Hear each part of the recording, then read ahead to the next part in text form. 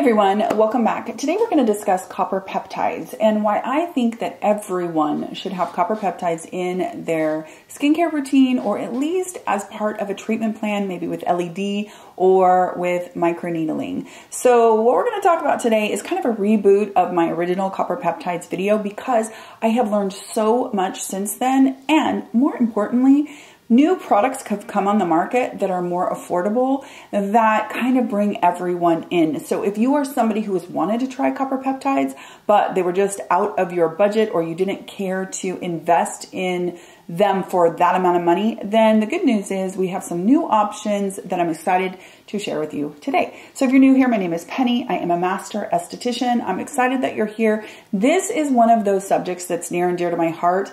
I have loved copper peptides for years and years and years. And every once in a while I fall off the wagon because that's what I do. And I will leave them aside for a while. And every time I reintroduce them back into my routine, I'm like, what were you thinking leaving those out? So first of all, what is a copper peptide?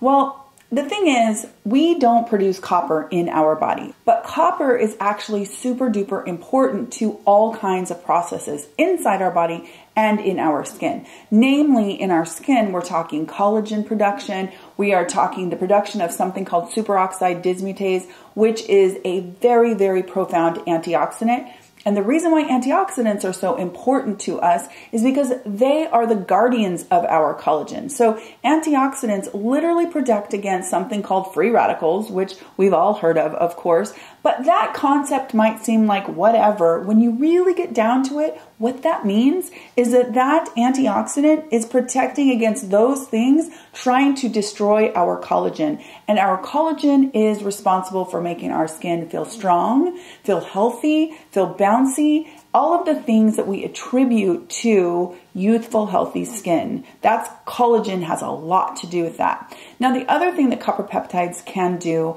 in our skin is they can help to promote something called glycosaminoglycans. Basically, think of hyaluronic acid. Now, that's another thing that we produce in our skin that is super duper important to how supple our skin is, how hydrated. Anytime you've been super dehydrated and you feel like you look like a different person when you actually hydrate the heck out of your skin, that is hydration. And the inside, our skin inside, produces its own ways of keeping itself hydrated. That's glycosaminoglycans. Copper peptides helps to promote collagen production, elastin production, and hydration in the skin. Super, super cool. Now, in our body, we have these three amino acids that absolutely love copper. They are attracted to copper like, you know, love at first sight, right? We don't make copper in our body, so the way that it happens inside is by foods that we eat. So we eat foods that are rich in copper, those three amino acids find it, bind with it, and then it goes to work inside our body doing all kinds of really wonderful things like promoting superoxide dismutase, helping with inflammation, performing as an antioxidant, protecting us inside so that we can be well. So if you are interested in copper peptides inside, then I recommend that you consider a diet that is rich in things like leafy greens. So your spinach, spinach leaf lettuce. You can also have organ meat if you are a meat eater. There's liver and some shellfish are great sources of copper like um, oysters and lobster. Shiitake mushrooms. You can get almonds or cashews have great um, amounts of copper in them as well as some seeds. So those are things that you can do to help to promote copper inside so that you have a healthy inside, right? But on the outside, we now know that we can apply topically copper so that we can get all of those benefits in our skin. Now, the very first thing that I think that all of us should ask is, okay, we know that lots of things that we put on our skin cannot get into our skin. So can a copper peptide get in our skin? Yeah, I know that it can do all these wonderful things, but can it actually get where it needs to go? Yes, it can. The way that we know that it can is this. There is something called the 500 Dalton rule, which I know that we have discussed on this channel before, but basically it says that molecules that are smaller than 500 Daltons, which is just a molecular weight, It is literally like pounds are to us. Now, anything under 500 Daltons is able to penetrate through our corneal layer. So this, this wonderful um, barrier that we have, we know that it can get through. A copper peptide is somewhere between 340 Daltons and 400 Daltons-ish. So it is nice and below that 500 Dalton rule in order to get into our skin. Now, another way that you can think about it so that it's kind of concrete is imagine that there's a doorway and this doorway allows elephants through it, but only it's going to allow elephants that are under 500 pounds. You've got an, an elephant that is 700 pounds and that doorway is like, if you're going to squeeze through me, you need some special sauce to get through. But if you're only a 400 pound elephant, yep, you can march your way right on through that door.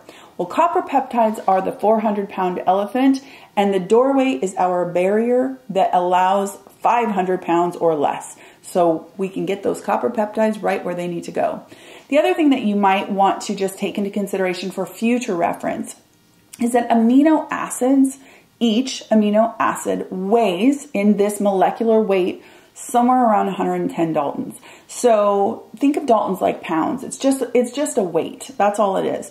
So 110 Daltons per amino acid. So when you string a bunch of amino acids together and you get a peptide, you can kind of figure out how much it weighs just by how many amino acids are in whatever peptide you're looking at. Then you consider that 500 Dalton rule and you kind of get an idea, is that peptide going to get into my skin or not? And if it has some special sauce because it's over 500 Daltons, maybe it can. But if it's under 500 Daltons, you don't even need any special sauce. It's going to get in. It's small enough.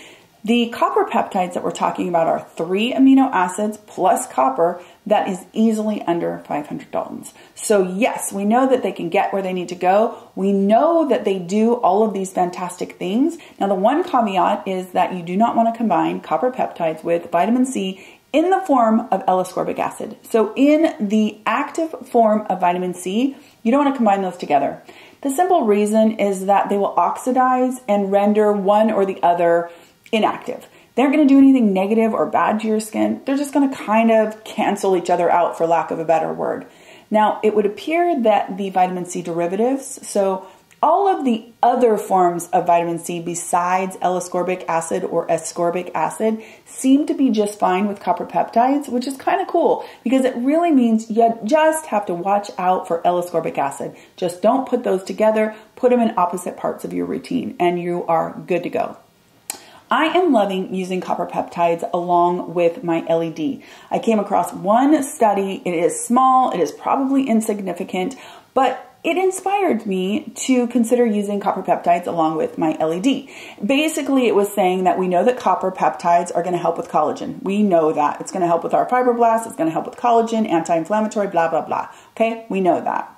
We know that LED also does a lot of that as well. In fact, they have a lot of very major similarities as far as collagen, elastin, and anti inflammatory, all of that. They both do a lot of that together, it would appear that they make it, all of that happen more. So for me, I thought, well, there's no harm in trying them out together. So that's what I'm doing. I am actually pairing my copper peptides and a water-based serum and putting them on right before or five, ten minutes before I do an LED session. And I'm just kind of seeing how that goes. Now, something that's really important to know is that when we are young, we have an abundance of copper peptides. We have an abundance of this three amino acids seeking out the copper. As we get older, it diminishes just like everything else that we have to, you know, collagen diminishes, our hyaluronic acid diminishes, those glycosaminoglycans diminish. I mean, it just, that's the way of aging, right? So feeding that back into the skin is a great way to replenish the stuff that we make less as we get older. It is so much so that when we are 20 or 18 or 20, we have 60% more of the copper peptides than we do when we're 60. So I make the case that as we are aging, yeah, it is a good idea to have copper peptides on board.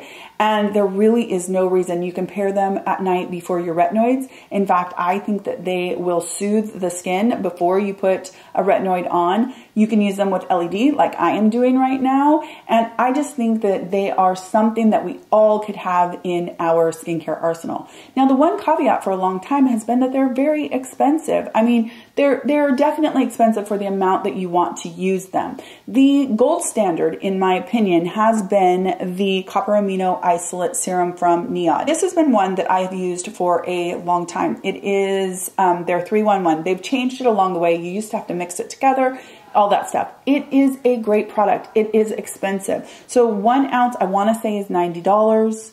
I might, one is 60, one is 90. It's expensive. And the other thing about it is that it is very, very watery like this which that's not a big deal as far as efficacy. I mean, that actually is just fine. The, the problem with that is because it's that expensive, I'm hearing people, especially in my Facebook group, that are using like a whole dropper full every single time because it's watery and so you go through it really, really fast.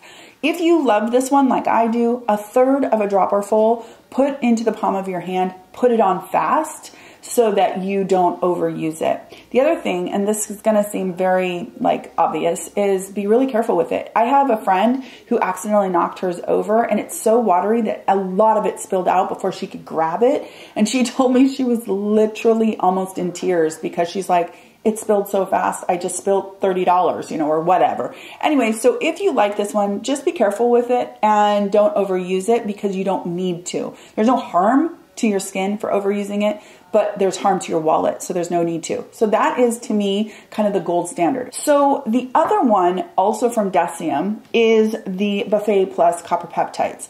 Now this one is 1% copper peptide. But this one comes in a cocktail of a ton of other really, really great ingredients. So you get that 1% copper peptide that is at a molecular size small enough to penetrate into our skin, but you get a bunch of other peptides, you get humectants, you get all kinds of good nourishing ingredients in here.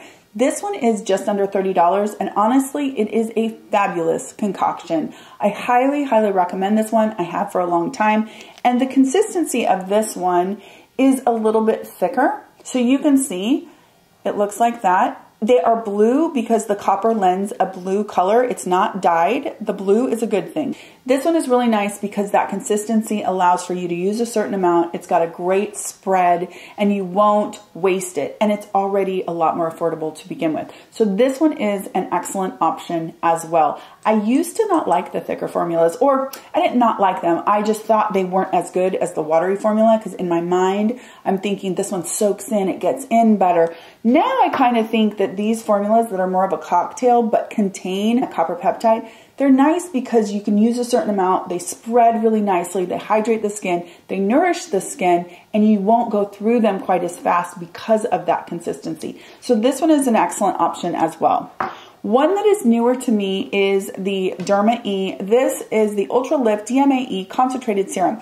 This is super interesting, you guys, because DMAE was actually an ingredient that I was head over heels for a couple of years ago. And then Derma E discontinued the product that I was in love with. Like the one product that really sold me, that I loved, that I went through several of them, they discontinued it. And so I kind of fell off the DMAE wagon. I felt like it was a kind of firming type of ingredient and I just was all in for it. Well, they've come out with this product and this one is I believe, kind of the um, replacement for that line that was discontinued. It has the DMAE in there, but then this one also has resveratrol and it has copper PCA. Now, copper PCA is not a copper peptide, at least in my understanding. Copper PCA is a salt form of copper.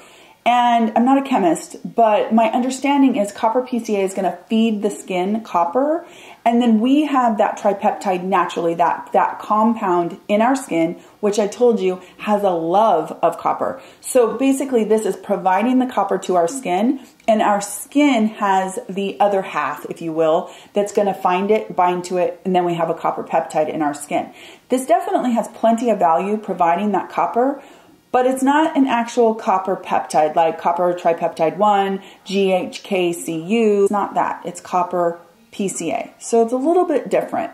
Now this one also has that resveratrol, which is a profound antioxidant. And again, remember, that's protecting our collagen. Those antioxidants are like the guards of our collagen, okay? And then this one also has kakadu plum, which is a natural source of vitamin C. very, very interesting to see that along with that copper because of course it's not in the form of L-ascorbic acid, so it plays okay alongside the copper. It's just really, really interesting. I would say that this is a really good antioxidant serum primarily that's going to help with brightening and glow. Whereas if you are looking for collagen stimulation, you're looking for firmness, you're looking for anti-aging, I would go more for copper peptides. So copper tripeptide 1, tripeptide 1, GHKCU versus copper PCA. I hope that that makes sense. I am working on a deep dive blog that will kind of explain a little bit more, but I really do think it's important to understand a little bit of the difference. This is great. It does have a scent. It has some lavender in there and it does dissipate, but it is in there. I wish they wouldn't do that. It's not a bad ingredient. I just think a lot of people don't love it or don't like the scent necessarily. So I don't know why they put it in there. So that's the DMAE or the Derma E with DMAE and resveratrol. A very, very interesting serum. This one has a gel serum consistency.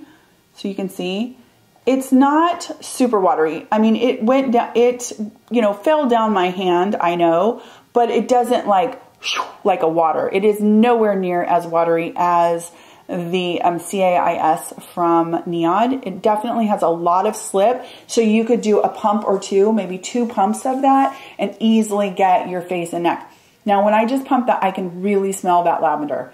So I definitely think that that is something to take, take into consideration if you do or don't like lavender. The next one is probably my very, very favorite as far as affordable copper peptides are concerned because it is concentrated copper tripeptide, and then it has some other peptides, a humectin or two, and it's just really all about the star of the show is the copper peptides. That is the complete skin solutions. I have recommended this on this channel for a couple of years as an affordable option. I really, really like this one a lot. I want to say it's around $30. You get one ounce. You see the beautiful blue color. It is a gel-ish consistency, actually quite a bit like the Derma E, probably a touch thicker. But again, that is not, yeah, it's thicker. That is not that big of a deal to me because what that means is I'm to use the amount that I want to use and it's very, very spreadable. So you're getting that copper peptide that is at that molecular weight that's able to get into the skin. You're getting some other peptides that are going to help with hydration and nourishing the skin. You get some humectants in there, so you're going to get some surface hydration. It's a really, really beautiful serum and one that I think that is reasonable as far as the price is concerned because it's right around $30. Okay, so then we have some that are more like cocktails. So they have a bunch of other things in there, kind of like the buffet plus copper peptides. The reason why I include that one in that segment is because Nia or Deciem actually tells us that it is 1% copper peptide. I actually really, really do like that for the um, ordinary. I love that they tell us the percentage. The Derma E doesn't disclose the percentage of copper PCA. And in fact, when I looked at their website, their frequently asked questions, somebody actually asked in there, what is the percentage of copper peptide? And they wouldn't disclose, which, you know, I love this brand, so I'm not trying to throw anything at them, but I do wish we just knew how much the, how much copper PCA was in there. It would be, you know, nice to know. They don't disclose that. So I applaud the Ordinary and Deciem with NIOD for telling us exactly how much copper peptide is in their products. They don't tell us in this one either. I'm, at least I don't see um, the amount. I, you know what, you guys, I'm going to email this company and find out the percentage if I can, and I'll put it in the description box. I do feel really confident because in the ingredient deck, you have water, and then the very next ingredient is copper peptide. So I feel pretty good that the copper peptides are at the very top of the list. It is the star of the show in this complete uh, skin solutions.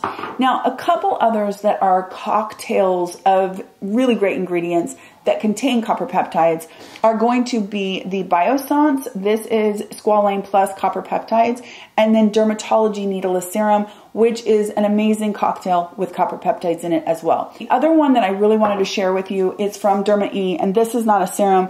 This is their Crepey Skin Repair Treatment. This is like a body cream slash butter. It's not too buttery, it's kind of body cream. Anyway, you get this beautiful um, glass packaging that is just gorgeous, okay? Looks like this and it has in it resveratrol, so it has that antioxidant in there. It has retinol, which when we've discussed body products, especially when it comes to crepey skin, Retinol is one of those things you want to get on board. It is a vitamin A derivative, of course, and it's going to help with collagen stimulation. So that's in here as well. That resveratrol is going to help to protect our collagen, which is super important as we age. This has shea butter and glycerin, which is going to hydrate and moisturize the skin and kind of make it more supple. And then of course it has that copper PCA. Now again, that copper PCA is just going to infuse the skin with copper and our body already has those amino acids that love that copper that are going to go looking for that copper once we infuse it in there. So the hope is then we have that copper tripeptide that forms and goes to work doing all those great things like collagen, elastin, um, and hydration inside the skin. Okay. The downfall of this one that I have to share with you is that it is very strongly scented of lavender. I mean, it, it just really is. And so if you like that, you may love this one. It, spell, it smells like a spa. It really does. But if you don't like lavender, you would hate this. Now, I was able to wear this at night to bed, which is when I prefer to wear, wear most of my retinol products on my body. In general, that's when I prefer to put on retinoids is at night. And I didn't notice that when I woke up in the morning that I smelled really strongly of lavender or anything like that. I actually put this on this morning just to kind of see, and I have to tell you, I don't really smell the lavender now, and I've had it on for just a couple of hours. So there is that. However, when I first put it on, I was like, dang, that is strong like lavender. Like it is really strong. So I just wanted to, you know, do that caveat because it comes in somewhere around $21 and the concoction otherwise is absolutely gorgeous. A huge recommend for the ingredient deck for it checks all these great boxes for improving the skin on our body you just gotta like lavender. So that is the Derma E Crepey Skin Repair Treatment. I hope I've made the case because I really do think this is one ingredient that is a great one for anti-aging, for skin health, and for internal health. So it's something to be aware of in our diet that we really need that copper because we don't produce it and we need to um, help our body help itself essentially. So let me know in the comment section um, what you use for copper peptides or if it's something that you're considering using, etc. I hope you have a really wonderful day and I will talk to you in my next skincare video. Take care.